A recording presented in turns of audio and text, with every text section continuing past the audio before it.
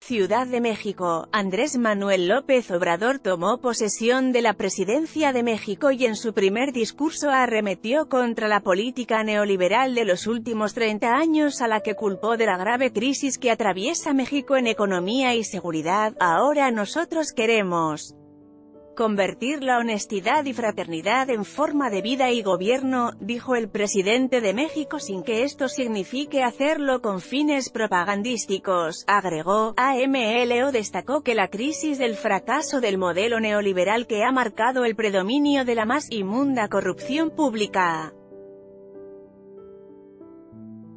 Andrés Manuel López Obrador durante su primer discurso como presidente de México. Foto, cortesía, nada ha dañado más a México que la deshonestidad de los gobernantes que es la causa principal de la desigualdad social, la inseguridad y la violencia. Lo que ha contribuido a los últimos números de migrantes mexicanos que ya suman 24 millones en Estados Unidos, dijo. López Obrador habló también de la caída de la protección del petróleo, el aumento desmedido en precios de gas, gasolina y electricidad, ocasionado con la reforma energética, refirió que otro saldo de la política neoliberal se reconoce en la compra de maíz, somos la nación que más importa este producto, expuso. Mencionó el deterioro del salario de los mexicanos pues son de los más bajos del mundo así como el alto índice de enfermos de diabetes en México. Destacó los lugares que actualmente tiene México en comparación con el resto del mundo en donde la violencia está en los primeros lugares. ¿Qué país ocupa el lugar 135 de países evaluados en corrupción? refirió momento en que se le entrega la banda presidencial a Andrés Manuel López Obrador. Foto, el debate destacó que el poder político y económico se han alimentado mutuamente y que han sido tres décadas de concesionar el territorio, por lo que su objetivo como lo ha dicho es acabar con la corrupción y con la impunidad.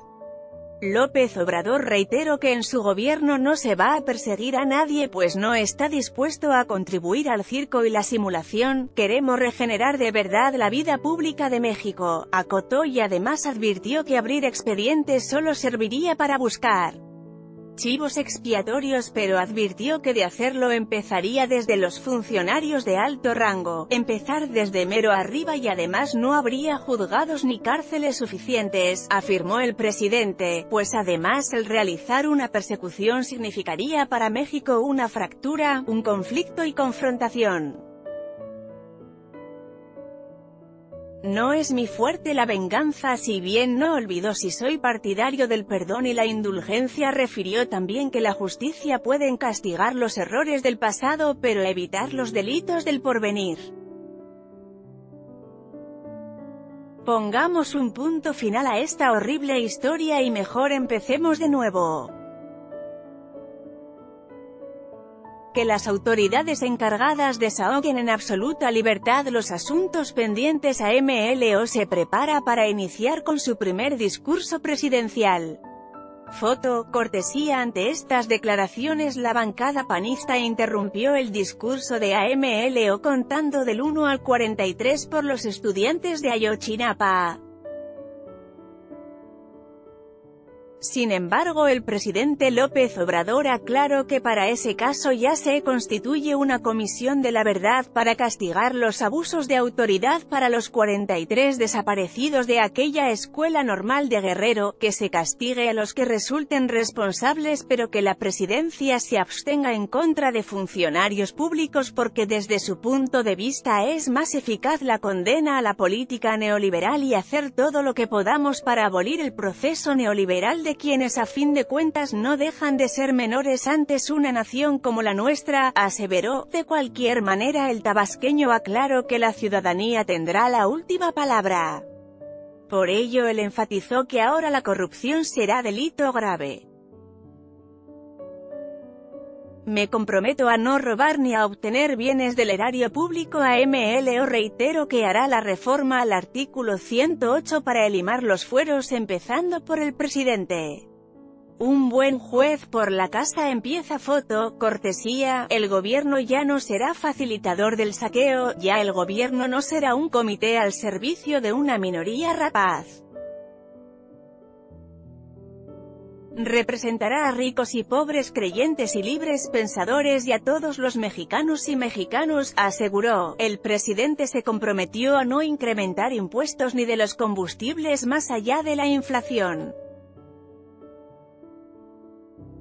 Además dijo que no endeudará más al país, pues recordó que al término del gobierno de Vicente Fox la deuda pública era de 1,7 billones de pesos con Felipe Calderón de 5,2 billones.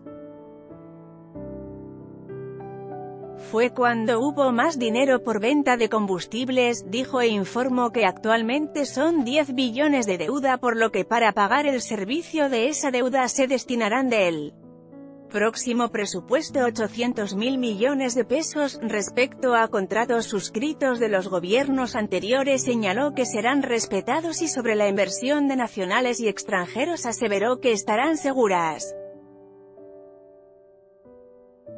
También defendió la creación de la Guardia Nacional pues aseguró que como jefe supremo de las Fuerzas Armadas jamás dará la orden para que estas corporaciones actúen para reprimir al pueblo por lo que aseveró que también será un tema abierto a que la gente opine en la consulta.